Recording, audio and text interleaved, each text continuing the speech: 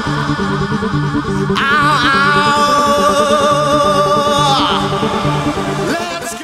it's Anthony Dudek here. I'm with Liam Knight. Scorpions are very proud that since about 2014 we've raised over $10,000 at our various junior and senior Scorpions dinners. Um, back in 2014-15 we did some fundraising for the White Knight Foundation through uh, Dave Roberts. So Dave and Liam are cousins. Dave's a long-time uh, Sydney Scorpions player, Hall of Famer. Um, so I'm here with Liam today doing a bit of a interview for our junior regionals dinner. The incident that changed yours and your family's lives in 2013. Um, following that, you started the White Knight Foundation. Uh, just tell us a bit of the reasons behind that, the money that you've raised, and I guess the good that's come out of it with the foundation. Yep.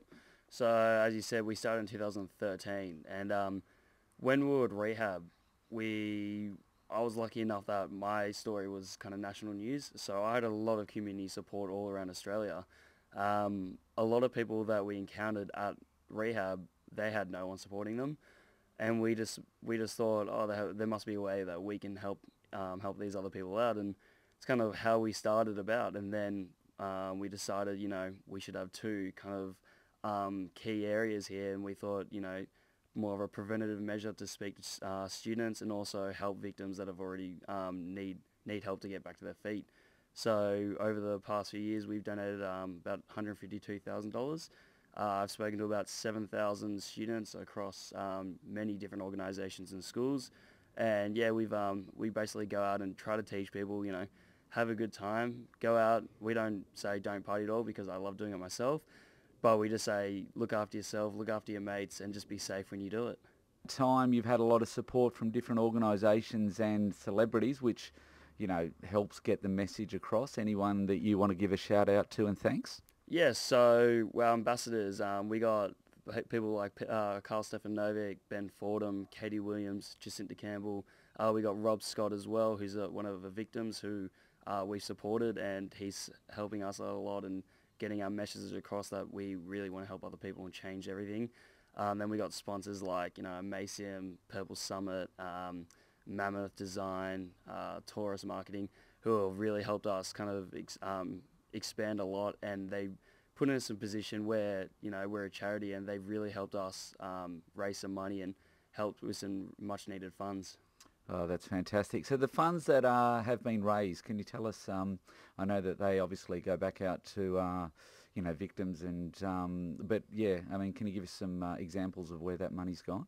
Yep. So, um, for example, we go to uh, Royal Rehab and Ryde. Yeah. Uh, we've given them uh, several bits of equipment, um, things like little bikes and little weights training sessions that a lot of people in wheelchairs um, can use and it's kind of just all changed up so they can they can you know get back into it, get back into the strength training. Um, we've helped design houses um, to actually uh, support um, victims where they can't really get around too easily. Um, we've bought them bikes, um, trikes, you know, things that get them back to normality and help them build strength and start getting back to where they need to really be. Wow, that's awesome. So um, 2019 now, six years ago. I mean, it's time flies, doesn't it? So what about yourself? How are your How is your health and how are you doing?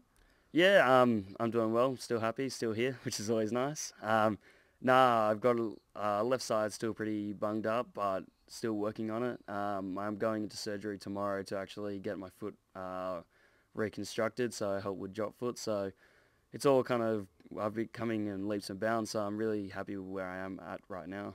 Okay, so what about, um, I guess, a message you can give to our audience um, just about facing challenges, I guess remaining positive. You know, there's been obviously, I'm, I'm sure there's been, you know, challenges and setbacks along the way. What sort of is the key message that you'd give there or some examples we're dealing, uh, with dealing those types, types of things? Um, yeah, so I think a big thing that I used over the past six years was goal setting. Um, I'd set myself little goals and targets and uh, give myself a time limit and just say this is an achievable thing that I can do. Um, it helped me, you know, overcome small obstacles at a time to get to where I wanted to be. Um, other things are just, you know, speaking to mates if I'm having any troubles and things like that, being open and honest with myself and the people around me. And um, yeah, I think those two things are massive uh, things in my life that I did that led me to where I am today. Wow, that's excellent. I guess um, with our, you know, under 12s, under 14s, under 16s and under 18s players, what would be the key takeaway message that um, you'd like to give them? Yeah, when you start heading out, always look after your mates, look after yourself, always have a lot of fun, just don't ruin it for anyone else. So everyone wants to go and have a good time, so let them do it. Mate, that's fantastic. So um, thanks for your time today, and uh, we hope to raise some more funds for the the Knight Foundation. Thank you. Thank you so much.